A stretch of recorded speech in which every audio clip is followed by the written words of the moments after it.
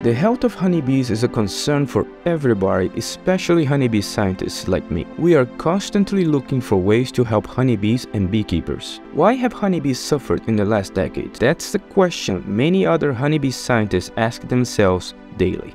We learned a lot in the last two decades and continue learning new things today. I was reading last week when I found a USDA researcher showing something very interesting that if it's true, it could help a lot of beekeepers out there.